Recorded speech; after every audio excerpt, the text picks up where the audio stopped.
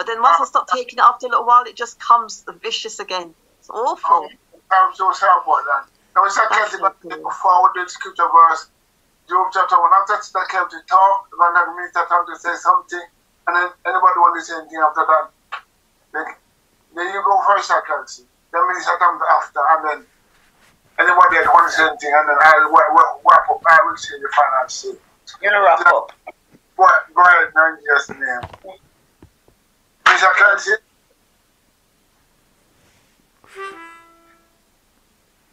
Celtic, Greetings, everyone. Greetings.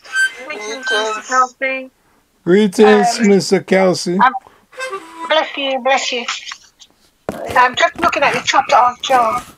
It's uh, one that I talk of um, patience, suffering, and deliverance. Mm. It's, it's a wonderful um, blessing that we can really look into the scripture and understand the, the history of affliction. Because Mm. many people have it and, and still believe and saying that you've got to commit a sin in order to Suffer. have sickness on you. And Job is a great example to each Yeah. and every one of us that living a perfect life on the earth, you can still be sick. Oh, yes. And um, looking at Job and what he had, and to see that everything was taken from him, Mm. because the scripture tells us that the enemy go to and fro Yeah. throughout the earth, seeking who he may devour. That's right. And that he actually had to ask God's permission Yeah. before he could even attack Job's body. Yeah. Little did he know that Job's soul rests with the Lord. Mm. But regardless of materialistic things we have, we can lose it. And the main thing we have to be sure of that we don't lose our soul. That's right. That's why the scriptures remind us that how, what shall it profit a man Yeah. to gain the whole world and lose his soul? And this is a great example that Job had here for us. That you can have so much, but have your soul rest with the Lord. And when I look at his wealth, 7,000 sheep, 3,000 camels, 1,000 oxen, 500 assets. That's total up, um, basically speaking, about 790,000 pounds. Mm. yes, yes. Almost. Maybe it's more. Because to have 7,000 sheep, that's 140,000 pounds. Mm-hmm. Just like that. Yeah. And um, you know, when we look at it, we can see within their time, their wealth was always based on the amount of animals that they own, especially if the asses that they had were actually she asses, because they were valued more because they produce milk. Yeah. Mm-hmm. So, ladies, just looking at it at a different angle, for those who are looking down on themselves, we have value. Yes. Amen. Yeah. If we didn't have value, God would not have given Eve as a helpmate to Adam. Mm. And we need to think that God does think highly of us. And I remember hearing the other day, I think it was Minister Thompson that actually said it, that we are equal to the man when he made it might be Minister Thompson because of so many scriptures I've listened to. Yeah. Yeah. With the man and the woman were made equally, regardless of which one was made first and which one was made after. Yeah. We were given the same um, Status. ability. And the only thing the man had over the woman was his physical strength. That's all. But we are there of value Of course. to the Lord. That even the very she asses were of more value than the male. Going back onto the scripture, Job became even more wealthy after he was sick. because God replaces everything Yeah. triple time up. Yeah, that's right. The sickness does not um, prohibit your spiritual growth to get Amen. deeper with the Lord. That's right. As a matter of fact, it should be your testimony to move forward to a higher heights in the Lord and deeper depths. Yeah. Because now you have experienced what it's like That's to right. go through certain things and Amen. having that test and pass Yes. through it, you Amen. can Yes. use that as an encouragement to bring someone into the house of the Lord Amen. and to let them know that having something and lose it does not stop you from going to heaven.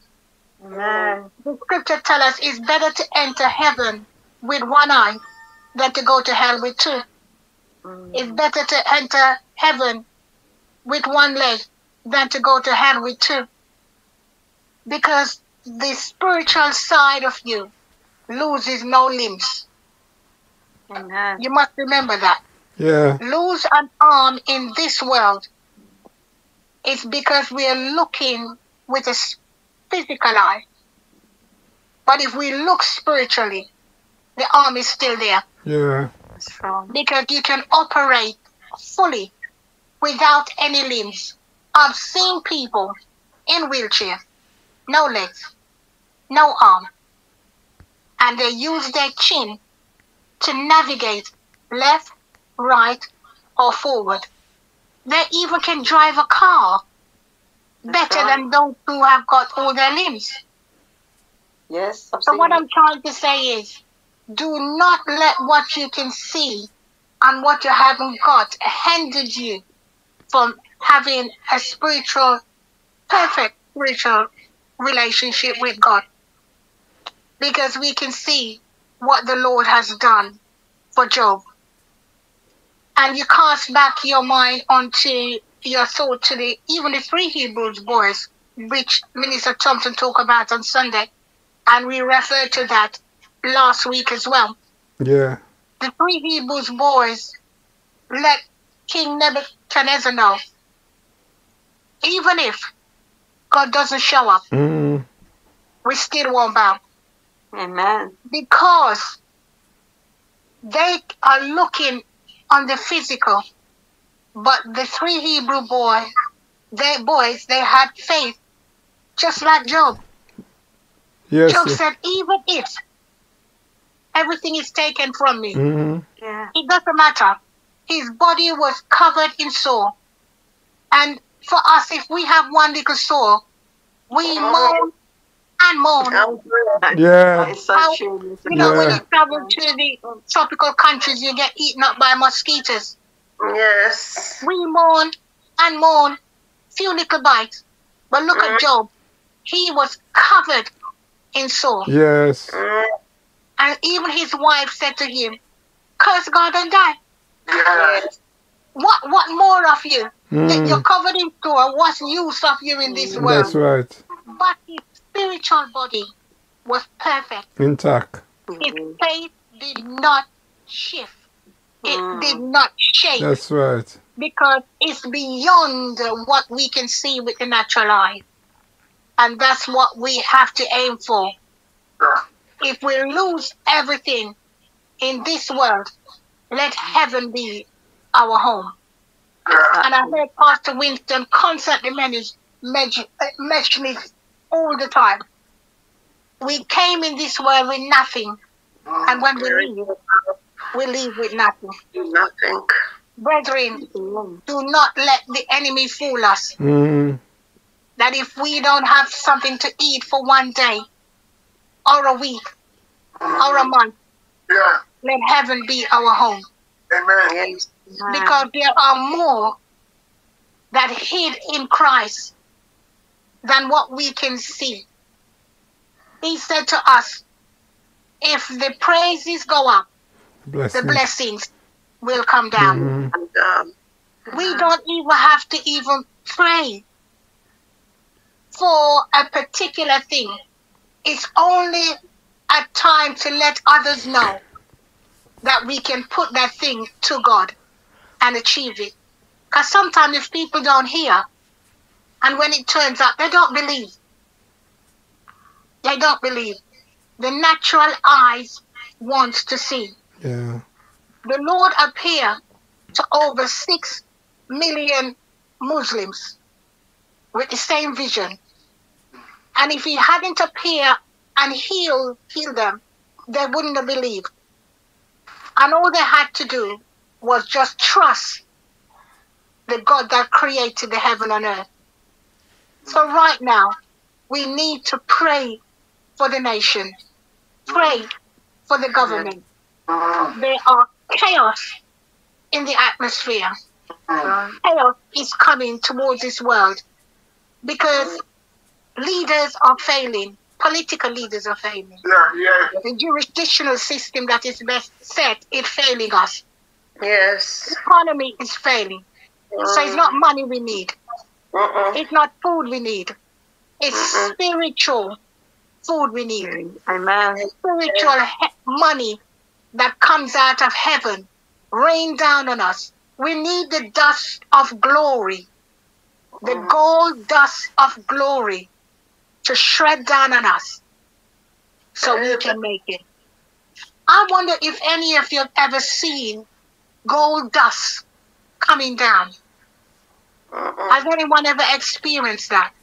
No. No.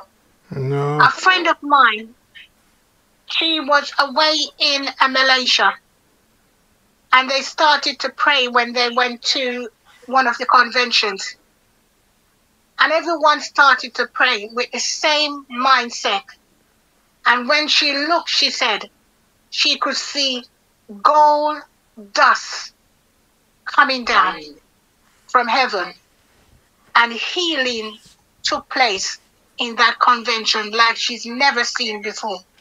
Wow. We need to pray for the Holy Spirit to come down on each and every one of us like gold dust from heaven. Amen. And when we get that, we will be on another level, like Job, because we don't have to hold materialistic things in order to give God praise. Amen. The very breath that is in us is lent to us, and that's enough to give God praise. If we don't praise Him, The stones that you've got in your back garden and in the front of your garden Yes. will form the shape of a human being and come and knock on your door and say, Hello, God bless you. I'm here to give God thanks. You will jump out of your skin. Can you imagine? Kind of a church and the building turning to people giving God praise. We would keel over. Mm. What I'm saying is, we need to think realistically that praises belong to God, just That's like. Job. Yes. Everything was taken, even his very skin was taken from him, but he still praised God. He had no skin left. Think of it, brethren. He was covered in sore, that the very dog was licking his body. Poor hmm. Job, but his faith was rich and hid in Christ. God bless you. I leave some space for somebody else. I just need to be covered in Amen. gold dust from glory because my father is a millionaire. Amen. Woo. Amen. Amen. Hallelujah. Amen. Amen. That's a beautiful, wonderful minister. Yeah. That's a, a good word from her. Go on, come on, give her a clap. Bless you, brethren. Bless you. Continue to pray for me. Yes. Amen. Yeah. I mean, some- sometimes don't give a please. Yes, sir. God bless you. Greetings, everyone. Again, greetings. God bless you in the name of Jesus. Greetings. Um, greetings. Yes, um, very, very, very lovely word, um, Minister Kelsey, and I think your words is like gold dust. Mm. Yes, I feel your words is like gold dust. We need a lot more than that. I wish we could share these words to the world, maybe over the internet, and so other people, other people can hear it. We are just doing it among ourselves, but I think other people need to hear hear the message. It's very good. Very good indeed. Um, just wanted to say, firstly, um, I, I was to say a testimony, but I, I was a bit late. Um, you know, last week we had a prayer regarding the Hurricane Beryl that was heading towards Jamaica. And I was in Jamaica in 1988 when Gilbert um, hit Jamaica. And it was devastating. It was totally devastating. And um, when I heard that Beryl was hitting an island, St. Vincent and the Carriacou Island, um, I said, if I hit Jamaica, Jamaica is in big trouble. Big, big trouble. And we prayed last week, brethren. I think we prayed last week. I know we prayed on this Zoom and we prayed in um, another prayer meeting. And you see what God has done. I mean, it has touched Jamaica, but not in the intensity, the density as it could have. It could have been. Amen. It could have been ten times worse. Put it that way. But you see, that's what I'm saying. God hear and answer prayer, brethren. Amen. I know we're not on the think we have to topic. still pray for the other, the other part. Yeah. the- there's the, Uh, probably what it's called again. Uh, and- Elizabeth. Yeah, Saint Elizabeth got hit a little bit, but I'm saying that you know we prayed, we prayed, and I'm saying that knowing, seeing what Gilbert did, and this this storm was at the same density, um, same category. Well, it could have been so much worse, but we prayed, and I believe God heard our prayer, and so I want to say thank God that it wasn't worse. I mean, it has been a no one died. At least nobody died. yeah, it has been yeah, it has been Later, effect. I think somebody Yeah. Died, So we give God thanks. We give God thanks. We prayed and He has averted much greater disaster. Amen. So on to I don't want to try to stay the topic, but I think we should get give God thanks for that. Um, for hearing us because we did pray. Um, Amen. so so brethren, yes, this this topic about, about Job, um, I think Minister Kelsey covered it well. Um, because um, we have to divide the spiritual from the natural. We have to know what is important to us. We have to lean on that which is of value, more value to us. And if we separate the spiritual from the physical, then we know, of course, that the physical is temporal. It's, it is going to go. Everything physical, we know it will go. Eventually. Time will come, it will be gone. We will be here, we'll be gone. Physical sense. But our spiritual life in Christ is eternal. Now, the Bible tells us that the carnal mind is at enmity with the with, with, with, the carnal mind is at enmity with God. Why is it enmity with God? Because it, it is not, it, it cannot be subject to the laws of God. So when we, we if we live in the flesh, the Bible says we walk in the flesh, we will reach we live we reach corruption. But if we walk in the spirit, we walk we, we have we, we have life. So Job was the prime example of a man who walked in the spirit. And last week we was talking about the rock. And I could see that Job was building on the rock. Amen. You know, he was building on the rock. He, he wasn't thinking about the physical, even though he went through so much. But he trusted in God. He knew there is a God, and he knew yeah, God is good. So, so when we know there's a God and we know that God is good, anything that come upon us, we know there's a reason. And so Job knew there was a reason. He lost, lost uh, as Minister mentioned, how many, Minister Castle mentioned, how many was his substance. He had a great substance. Yes. And the devil was jealous. You know, I always say the devil, the devil cannot attack God. So he attacked the people who love God.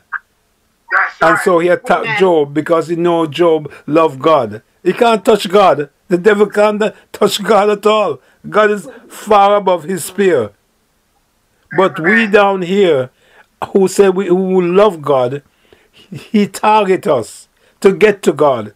As um as, as Mother Mills, you must know the saying that if you can't catch Quash, you catch him short. You know that one, don't you, Mother Mills? you know that one, don't you? Old Jamaican, old Jamaican thing, Parents used to say it. huh? my grandparents used to say. Yes, that is it. So the devil "Be can't. where we go, Yeah. because if they can't get the grandparents, they'll get us Yes, grandchildren. that is what the devil does. Yes. But- Amen. It's it's only when we live in the spirit we can perceive. When we live in the spirit and we serve God, we can perceive the plans of the devil. You know, we can perceive, as Minister mentioned, Mr. Council was about. We must look from from a spiritual aspect. Everything about us must be about the spirit. You know, we must. The Bible says, we must walk in the spirit, and we will not fulfill the lust of the flesh. Walk in the spirit. We, you know, walk in the spirit, and our body is full of light. So, when we walk in the spirit, we we we walk with God. Amen. We're walking with God. You know, when we're not we're not mindful of this world as much as we're mindful of God. So I think that was what how Job was seeing things. He realized how good God is. He realized what God has done. He realized that whatever he possessed is God give him. All those camels and horses and and, and she uh, goats and all the and all the f- substance he had, the men servants, the women's and his children. He, everything we have, brethren, we have to say everything that we possess in this life is God give us. And Yes, and Job. Job could see that everything that he had, all this all his substance, he could see that it's not him work for it, but God give him. And that's why he said, The Lord give it and the Lord take it away. Blessed be the name of the Lord. And brethren, this is and this is a wonderful thing for us to show how we sh- how we should be faithful to God and how And uh, uh, how we should appreciate what we've got and stop stop don't worship nothing that we have and don't praise ourselves for what we have achieved in life. If you have a big house or a big mansion don't praise yourself. Oh i've got i built this big mansion. Oh look i've got I've, uh, you know i've got you know i've got whatever i've got. I've got this yacht i've got this. Don't praise yourself. It's god give us. It's god give us. And, and we should be grateful. And a time will come maybe he will take it away from us but that should not change our attitude. That should not change our attitude towards him. And it did not change job's attitude. Remember he lost even his children. He lost all his children. They died.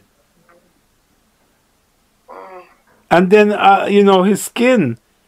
Is he had to scrape himself with a potsherd something like i don't know some call gordy something like that to scrape his skin because it was you know it's all bumps and things and scratching and you know and still for all Brethren, this is showing us how we should tr- trust God.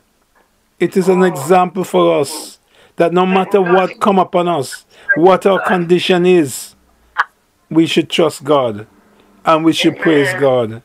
And that is a, that, that that is what I see in the story of Job. It's a wonderful story, and you know it you know it just tells us how much you know we can endure, you know, and how God will and how God will bring us out. Amen. Amen. Amen. Amen. Amen.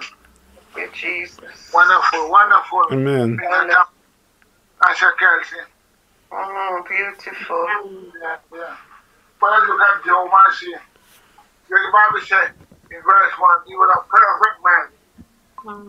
Although he was perfect, he still gets sick. So many people are saying right now, Pastor Winter done something wrong.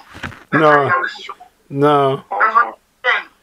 Because I come with the that I was shook. But when we look at Job, I see Mm, Job was a perfect man. But yes, sick upon him. He was so Yeah. bad. His soul covered his body.